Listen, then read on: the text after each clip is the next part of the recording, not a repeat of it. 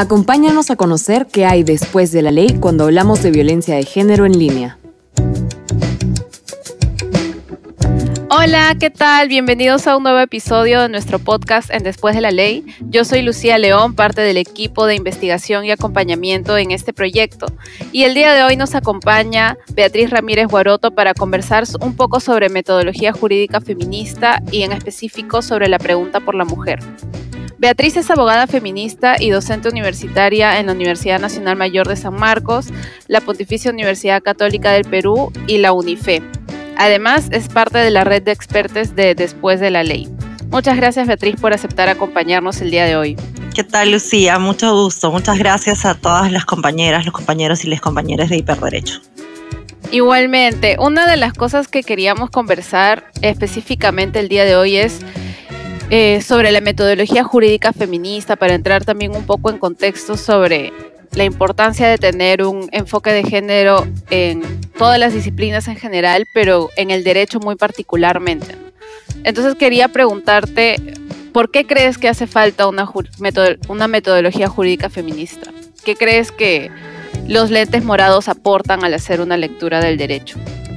Creo que para quienes nos escuchan y que estén entrando al mundo del derecho, que lo practiquen, les diría que el enfoque de género lo que ayuda es hacer más efectivo el principio de derecho de igualdad.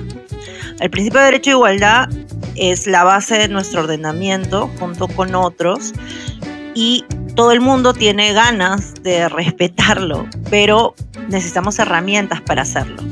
El enfoque de género, igual que otros enfoques, el de interculturalidad o el enfoque capacitista, digamos que cuestiona más bien el modelo capacitista, nos pueden ayudar a que algunas particularidades de la aplicación del derecho o del derecho en sí mismo no se nos pasen por alto. Entonces los llamados lentes morados, como les llamamos al enfoque de género, pueden ayudarnos a ver cómo las concepciones que se han desarrollado respecto de ser hombre o ser mujer, lo femenino y lo masculino, influyen en el ejercicio del derecho.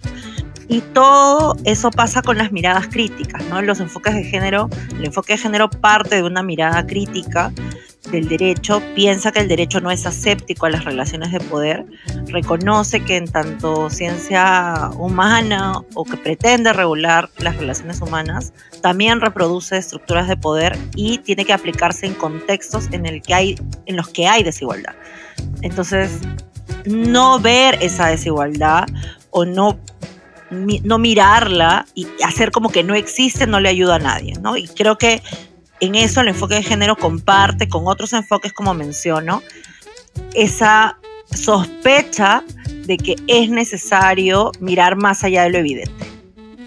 Muchas gracias, Beatriz. Efectivamente, esa es también pues la idea que teníamos detrás en después de la ley cuando dijimos hey, sería muy importante también incorporar esta metodología en la investigación, ¿no? Porque es la primera vez que se aborda, creo, desde, desde una investigación de ese tipo, los casos de violencia de género en línea. Y, dentro de esto, una de las cosas que, descubrimos eh, fue esta idea de la pregunta por la mujer, ¿no? Y quería preguntarte cómo entiendes tú a la pregunta por la mujer y qué crees que puede aportar también haciendo este tipo de lecturas.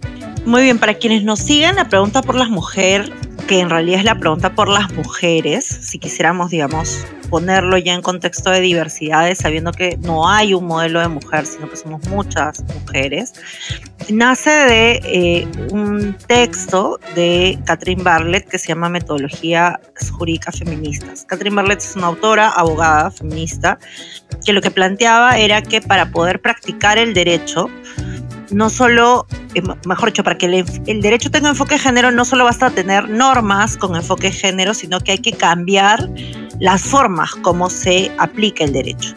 Y por eso es que su texto se llama Metodología Jurídica Feministas, en la idea de que la forma en que tú aplicas el derecho, los elementos a los que tú les pones interés, importan en el resultado.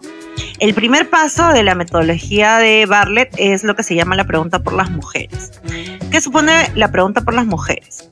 Supone que en una determinada situación en la que tú vas a aplicar una determinada norma o en la que estás analizando una situación, lo primero que deberíamos preguntarnos es, cómo esta situación impacta la realidad de las mujeres en su diversidad. Y además de cómo es el impacto, deberíamos preguntarnos cuál es el modelo de mujeres que está detrás de este parámetro normativo. ¿Es un modelo realmente inclusivo o es un modelo que tiene algunos estereotipos dentro? Entonces, la pregunta por las mujeres ayuda, uno, a analizar los prejuicios dentro de las normas, dentro de lo que nosotros llamamos el componente formal normativo del derecho, es decir, las normas constitucionales, legales, reglamentarias, en fin, todo lo que tradicionalmente llamamos derecho, pero también nos ayuda a entender los casos concretos y ver lo que nosotros llamamos el componente estructural del derecho dentro de las teorías críticas feministas, es decir, cómo se aplica el derecho, cómo en el sistema de justicia las abogadas, los abogados, las abogadas, las y los operadores y los operadores van valorando ciertos detalles de las situaciones y van reaccionando frente a lo que pasa y algunas cosas las consideran importantes y otras no. La pregunta por las mujeres te ayuda en todos esos planos a poder mirar cuál es la visión que hay respecto de las mujeres o de repente si no están las mujeres pensadas en esa situación o en esa norma. Y para que no se te pasen por alto algunos contextos de desigualdad que podrían estar presentes, ¿no? Por eso decíamos al inicio, Lucía, que la pregunta por las mujeres nace de, de la idea, del presupuesto de que el derecho puede no ser neutral a las relaciones de desigualdad que hay en la sociedad. Si tú crees realmente que eso es así, entonces desde la sospecha haces esta pregunta por las mujeres para verificar si en el caso que tú estás analizando, en la situación que tú estás analizando, existe realmente esta discriminación que de repente a simple vista no está, pero está allí. Si tú no hicieras esa pregunta por las mujeres y con eso cerraría esta, esta idea, entonces es como si tú asumieras que la realidad es neutral y que no existe nada más que mirar. Y la pregunta por las mujeres no te exige un determinado resultado, sino que te pide que tú mires la posibilidad de que algún estándar discriminatorio se te vaya a colar. Parte de la sospecha de la posibilidad de que eso se pueda dar. De repente compruebas que no se da, pero es mejor hacer ese check de que no está a hacer como si esa comprobación fuera innecesaria. Y eso que dices me parece súper importante, Beatriz, porque es muy importante pues mirar con ojos críticos, ¿no? En general, o sea, toda la legislación o normativa, incluso cuando no es específicamente una normativa que aborde género, ¿no? Porque estos, digamos, estas relaciones desiguales de poder se nos pueden colar en legislaciones sobre todo tipo de cosas. Igual quería aprovechar este último bloque, este último espacio para aterrizar un poco esta conversación en el tema específico de después de la ley que es eh, pues violencia de género en línea, ¿no? Y quería preguntarte cómo crees que podríamos aplicar la pregunta por la mujer al revisar la legislación que existe actualmente en la materia es decir, en temas de violencia de género en línea. Ah, muchas gracias, Lucía. Solamente quisiera eh, dialogar con la reflexión que tú hacías al final, ¿no? Y es que justamente los lentes de género son importantes porque en el derecho la mayor parte de componentes jurídicos no tiene enfoque de género. Es decir, son normas de carácter neutral, son parámetros abstractos y generales si uno los aplica como está, sin darles una mirada crítica, entonces te pueden pasar muchas desigualdades, no solo las de género, que son las que estamos hoy día problematizando, sino muchas otras. El estándar de sujeto de derecho ha tenido muchas exclusiones. Deja de un lado las personas con discapacidades, deja de lado la diversidad sexual, deja de lado la diversidad cultural, deja de lado muchas diversas formas de plantear nuestro ser humano que es tan diverso. Entonces, si uno más bien no aplica estas miradas críticas, entre ellas el enfoque de género, lo que termina haciendo Lucía es eh, aplicar el derecho como si fuera aséptico a eso, cuando en realidad no lo es. ¿no? Entonces creo que es por eso que es importante que podamos enfatizar en el uso de, de esta teoría. Ahora, cuando uno mira la violencia de género en línea, creo que hay como varios planos en los que el enfoque de género nos puede ayudar, ¿no? una, una primera cosa es que creo que nos debería ayudar a pensar qué es lo que quieren las mujeres, dónde están las mujeres en el fenómeno de la violencia y la respuesta que da el derecho. Porque si nosotros lo viéramos con los ojos tradicionales del derecho, probablemente lo primero que se nos salta a la mente es, bueno, que esto tiene que ser un delito y que como delito hay que juzgarlo y tal. Entonces, lo que todo el mundo tiene en la mente es penalización y punitivismo, ¿no? Que no está mal sancionar, nadie ha dicho eso, solamente que no es lo único que importa. Entonces, si uno mirara por las mujeres y los sexismos, y pensar un poco en los intereses y las voces de quienes son las principales agredidas, vería que las víctimas lo que quieren es obviamente que se sancione, pero quieren que no vuelva a pasar. Quieren medidas de protección, quieren que esto se detenga, o sea, quieren que no haya impunidad, por supuesto, pero quieren ellas, sobre todo, sentirse protegidas. Y eso, por ejemplo, nos hace mirar, los lentes de género nos hacen mirar de forma crítica la respuesta del sistema de justicia. ¿A qué me refiero? ¿No? Para todas y todos y todas quienes nos oyen. El sistema de justicia tradicionalmente piensa en una respuesta penal y el derecho penal está pensado en la determinación de la responsabilidad de la persona que es sancionada pero invisibiliza completamente a las personas que son las víctimas del delito. Lo mismo pasa en un hurto, en un robo, en un secuestro. ¿Por qué? Porque el derecho penal se ha hecho tradicionalmente en base a los derechos de la persona que es investigada por la supuesta comisión de un delito frente al poder punitivo del Estado. Entonces, si uno mira eso, uno se da cuenta que esa no parece ser la mejor respuesta, o en todo caso no debería ser la única respuesta que un Estado de Derecho le dé a las víctimas. Entonces nosotros deberíamos pensar qué otras cosas necesitan las víctimas de violencia para que esto no pase. Y entonces podríamos pensar en los procesos más bien de protección, en los que independientemente de la responsabilidad de la persona agresora o mientras que se determina la responsabilidad de la persona agresora, tú puedes generar que no hayan mayor repetición de actos en línea o puedes generar una respuesta rápida de investigación para que cuando se produzcan se detengan. Y puedes además generar mecanismos de investigación para determinar quiénes son las personas que están detrás y poder aplicar eh, medidas correctivas, además de la responsabilidad. Pero nada de eso sucede, ¿no?